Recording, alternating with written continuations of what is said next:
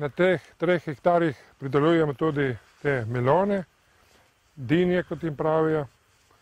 E, isto je kapljični sistem e, z pokrito folijo, da vzdržuje vlago od spodaj. Tukaj imamo že eno tehnološko zrelo melono, ki bomo obrali. Sorte kalipso, izrednega okusa.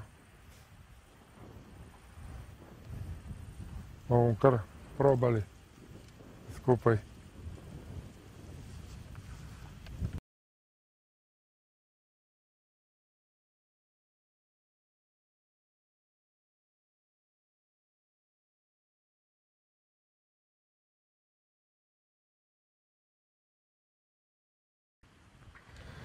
Melono se pobira dnevno, nekje od tone do treh ton, odvisno od vremena.